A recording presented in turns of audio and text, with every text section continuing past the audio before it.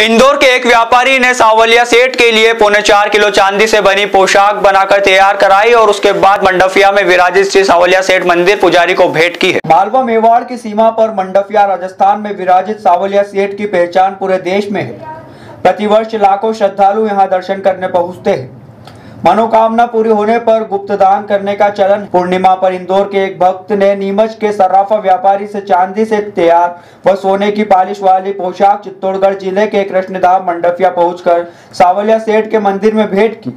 मूलतः रतलाम निवासी तथा चूड़ी गली स्थित सर्राफा व्यापारी गोपाल सोनी ने बताया कि इंदौर के शेयर मार्केट व्यापारी ने एक महीने पहले सावरिया सेठ की पोशाक तैयार करने के लिए फ़ोन पर चर्चा की थी।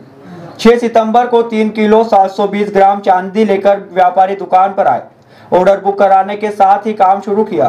रोज औसतन 10 घंटे काम करने 20 दिन में पोशाक तैयार कर 7 ग्राम सोने से पालिश की। व्यापारी यह पोशाक इंदौर घर ले गए, जहाँ पूजा अर्चना के बाद एक अक्टूबर को सावलिया सेठ के मंदिर पहुँचे। सर्राफा व्यापारी गोपाल सोनी व उनके सहयोगी कारीगर मनोज सोनी भी मंडपिया पहुँचे। मंदिर के पुजारी को पोशाक भेंट की। उसी दिन कृष्ण भगवान सावलिया सेठ को पोशाक पहनाकर श्रृंगार किया।